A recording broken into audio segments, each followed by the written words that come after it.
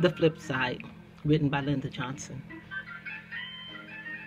When life is too much to bear and you feel that no one cares, put on your Jesus hat if you dare. Kneel down and say a prayer. Pray away those feelings of despair.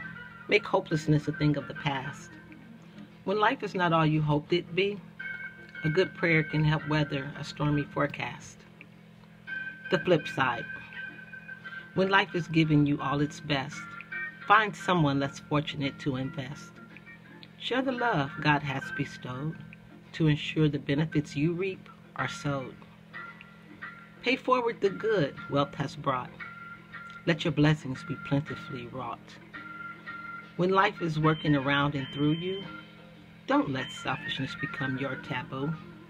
End poem